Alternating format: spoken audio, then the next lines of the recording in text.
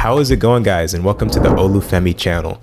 We're a group of teachers that want to shore up your video production skills in as little time as possible. In today's tutorial, Nick's going to show you the new 3D features within After Effects. Nick, the floor is yours.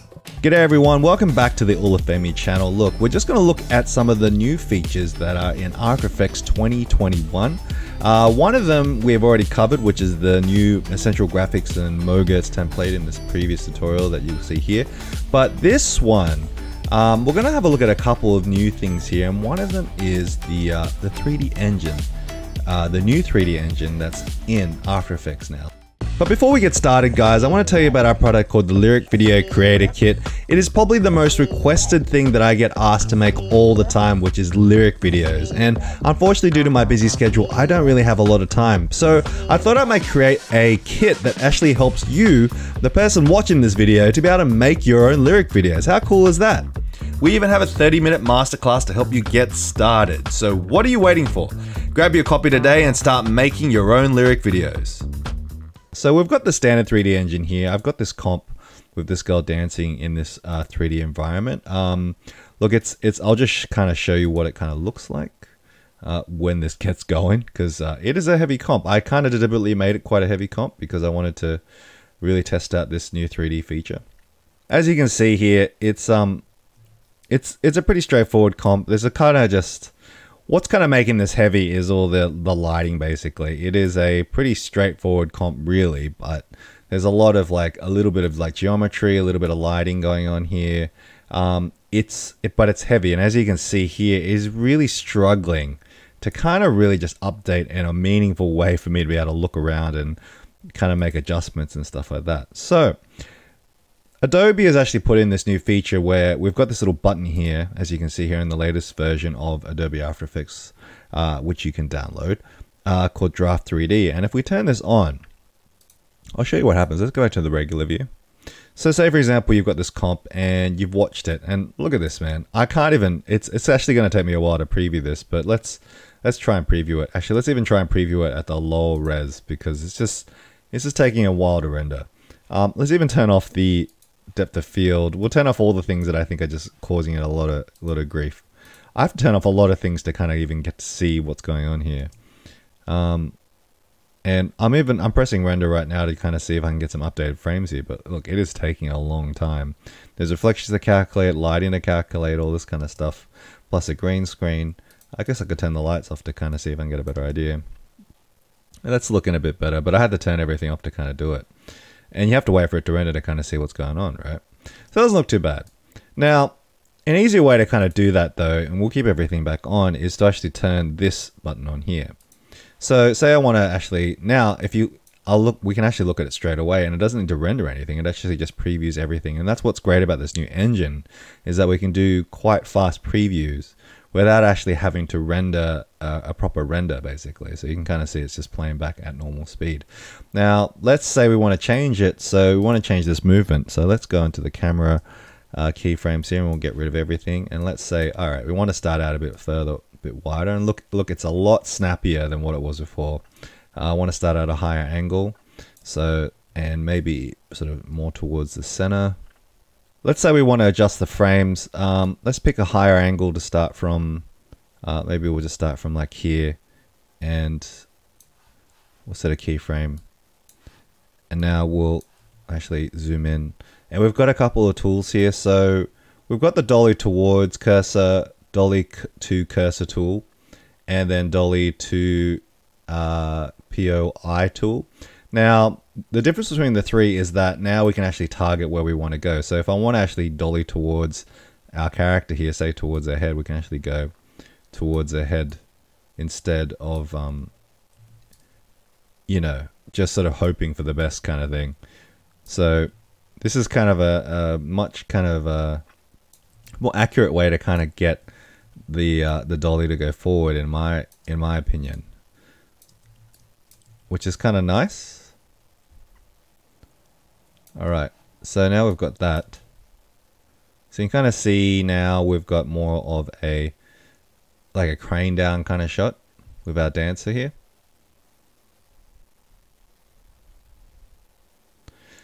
So now that we've got that down, we can basically, you know, we can turn we can basically turn the 3D off, uh, the draft 3D off, and we can kind of kind of see what it looks like with uh, with all the bells and whistles. And there you go, you can kind of see it. Let's turn the uh, let's turn the depth of field back on, and it's pretty much as easy as that to basically get.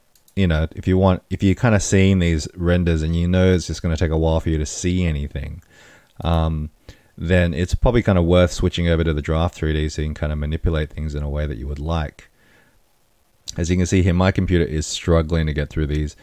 Fairly, you know, it's a fairly rudimentary scene, but 3D, it's my, my computer doesn't handle this sort of 3D very well, like with lighting and shadows and a few other things. So that's where it kind of chugs along a little bit. So having this little 3D thing in here definitely makes a big difference. Again, I'll just show you what the difference is like without it. So look at, I'll turn it back on and just say I want to try and muck around with things.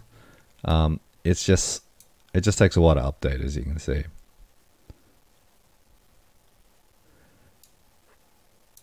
Taking a long time to update.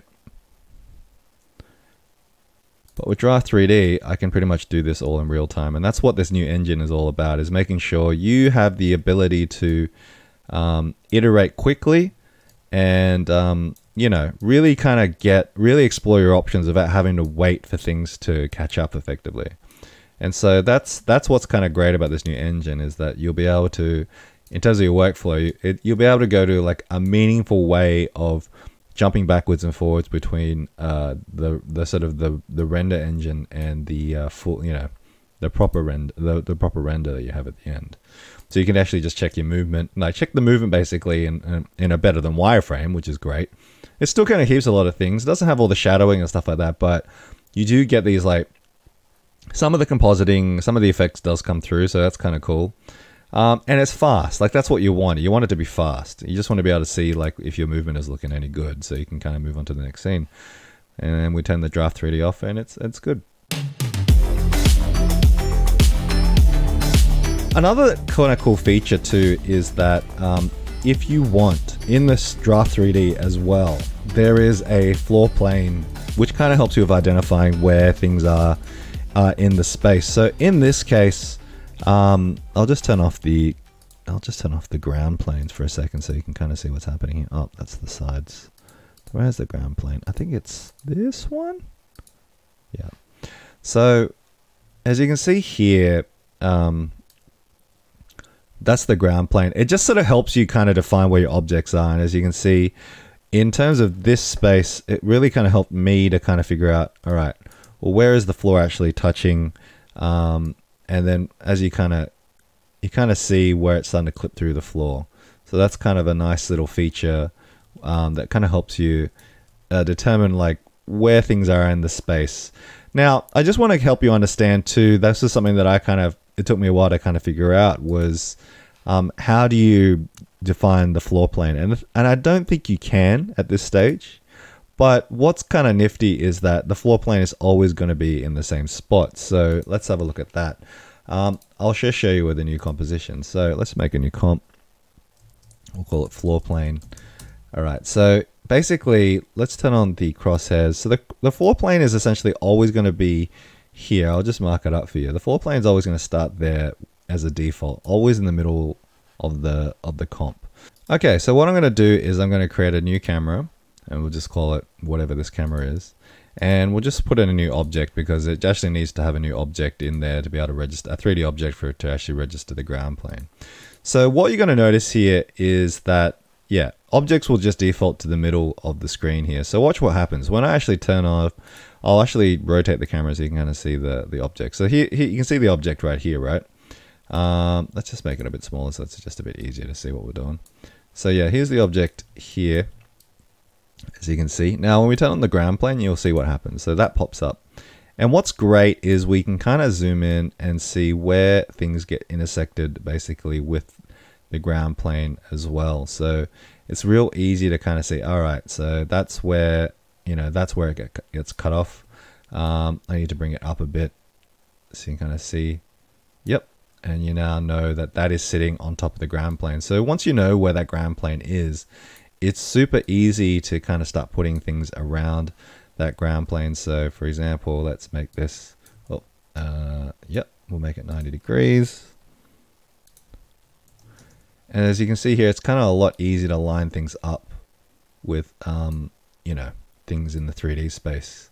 Because now with that ground plane, you've got a way to kind of anchor yourself um, with what's happening in the scene a lot better than it did before. Which was, you know, it definitely helps with kind of making things making 3D objects or mapping things out in the space. So now you've got a grid line to be able to kind of help you increment things. You can kind of see accurately where things are going to be in order to kind of line up perfectly of what you're doing. And that's a massive help if you do 3D stuff. Anyway, guys, I hope that's helped. That's pretty much the new stuff that's in uh, After Effects 2021. It's pretty great in some respects. I kind of really appreciate they put this in here. Yeah, I, re- I really appreciate this because this actually comes in handy. Um, it was it was confusing me for a little bit, but once you realize that the ground plane actually starts in the middle here, um, everything else makes sense. But it kind of didn't make sense the first time I did it. I thought you could actually set the ground plane, but in fact, in 3D space, the ground plane is actually set right in the middle of the screen here before you put a camera down.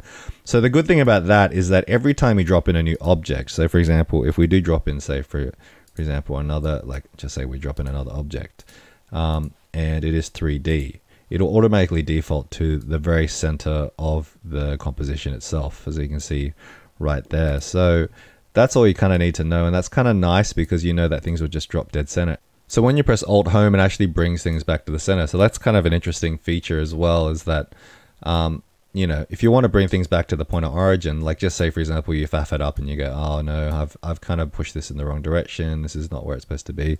You can press Alt Home and actually brings it back to the anchor position there, which is kind of nice. Um, and now you can see exactly where it is.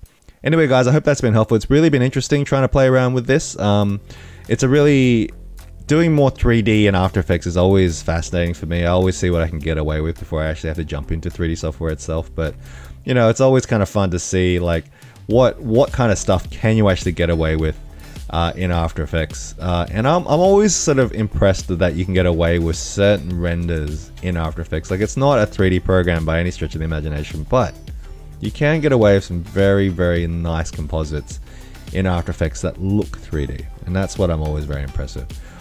And guys, if you want to find out anything else that's happening with me, you can go to nickbenkhoo underscore motion on Instagram. You can ask me questions. We can have a little chat. I will answer.